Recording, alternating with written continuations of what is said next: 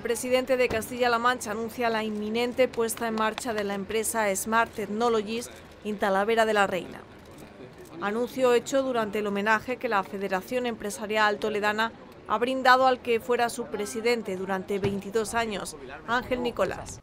Javier, que te sustituye, no lo tiene fácil, pero habéis hecho bien, porque además Javier, además de que mm, va a ser muy fiel a tu perfil, tiene el suyo propio, que además viene con marca talaverana. El lunes, por cierto, espero que no faltes con la alcaldesa, la empresa que también, a la nueva empresa que presentaremos en, Talavera, Smart Technology. Emiliano García Apaje ha destacado la humildad del que fuera presidente de la patronal toledana, subrayando que en los 22 años que ha estado a los mandos de Fedeto, el número de empresas ha aumentado un 36% y hay un 37% más de autónomos. El presidente de Castilla-La Mancha, Emiliano García Apaje, ha valorado como un éxito la celebración de la cumbre de la OTAN en España. Esto es como ahora que se está celebrando lo que yo creo que ha sido un éxito de verdad eh, para España extraordinario, la cumbre de la OTAN. Puede haber gente, y lo entiendo perfectamente, que discuta el coste que supone la seguridad. Solo quiero recordar que mucho más caro es la inseguridad. Declaraciones realizadas durante su participación en la inauguración del octavo Congreso de Cooperativas Agroalimentarias de España, celebrado en el Palacio de Congresos de Toledo.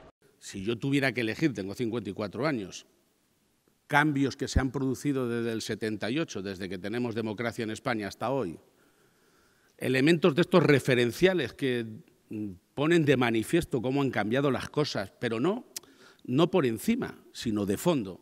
Una es la evolución del sector agroalimentario y esa dinámica que en esta tierra se conocía muy bien, de que todos los productores decían vamos a producir aquí y si algo nos sobra que no se consuma aquí lo podemos exportar con dificultades y con desgana. Y hoy pasa exactamente lo contrario. Esta evolución y este cambio que yo he apreciado en el sector agroalimentario es verdaderamente tremendo. He visto más cambio y más innovación en el sector agroalimentario que en muchos otros sectores económicos. Más de 700 cooperativistas agroalimentarios analizan en Toledo los retos del sector ante los objetivos de desarrollo sostenible en este congreso bajo el lema Cooperativas juntos hacia un futuro sostenible que se va a celebrar del 30 de junio al 1 de julio.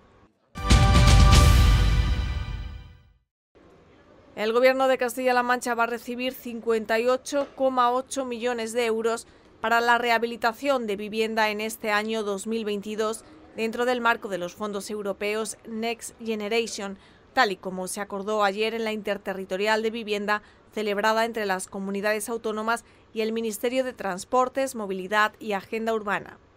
Decenas de millones de euros en materia de rehabilitación. Hoy vamos a poder compartir eh, con Fereco eh, lo que ayer nos trasladó la ministra de Transportes, eh, de Movilidad y de Agenda Urbana, como son esos nuevos 58 millones y medio de euros para rehabilitar el parque de viviendas de Castilla-La Mancha, o como también el que a través de otros, la colaboración con otros aliados importantes como son los colegios de arquitectos y los colegios, el colegio de aparejadores, a partir del día 1 de septiembre ya van a tener puestas en marcha esas oficinas de atención a la ciudadanía para informar sobre todo el abanico de ayudas que, que hay a día de hoy disponibles. Así lo ha avanzado el consejero de Fomento, Nacho Hernando, que ha inaugurado la Asamblea de la Federación Regional de la Construcción, FERECO, junto con su presidente y su secretario general, Juan Pedro Delicado y Manuel Carmona. La alcaldesa de Toledo Milagros Tolón ha visitado el cuarto campus de balonmano Gonzalo Pérez de Vargas que tiene lugar en la capital regional del 26 de junio al 2 de julio y que promueve el ayuntamiento junto con la Junta de Comunidades. Vamos a llevar a cabo no solamente este año, sino los próximos años consecutivos, reforzar eh, este eh, campamento, este campus tan importante que eh, tiene la ciudad de Toledo y que tiene un padrino como es Gonzalo Pérez de Vargas. Otra edición más, muy contentos de, poder celebrar este campus aquí con, la ciudad de Toledo, en compañía de, unos organizadores como son la Junta y el Ayuntamiento que, pues, que apoyan este proyecto y, la verdad es que, hacen que este, este campus Pérez de Vargas creo que, siga siendo un éxito. La verdad es que para mí es un orgullo poder traer este proyecto a mi casa.